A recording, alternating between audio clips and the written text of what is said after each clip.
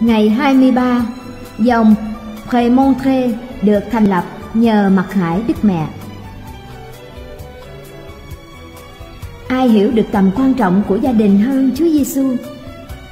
Nazareth là khởi đầu của ơn cứu độ thế nào thì ngày nay gia đình Kitô cũng là chiếc nôi của các nhân đức, là nền tảng của giáo hội và quốc gia như vậy.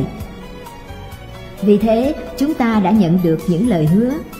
Cha sẽ chúc lành cho những gia đình trưng bày và tôn kính ảnh thánh tâm cha. Cha sẽ ban cho họ mọi ơn cần thiết cho bậc sống của họ. Cha sẽ thiết lập bình an của cha trong gia đình họ. Lạy Thánh Tâm, vua và bạn của con, theo lời Chúa yêu cầu, gia đình con sẽ tôn kính ảnh Thánh Tâm Chúa. Ảnh ấy nhắc nhở con về tình yêu Chúa dành cho con trong bí tích thánh thể. Việc thường xuyên tham dự thánh lễ và hiệp lễ sẽ đem những phúc lành của Chúa đến với gia đình con. Xin Chúa ban những ơn ấy cho con nhờ trái tim vô nhiễm mẹ Maria, nữ vương bình an. Amen. Lạy Đức Trinh Nữ Maria Francis Larkin SSCC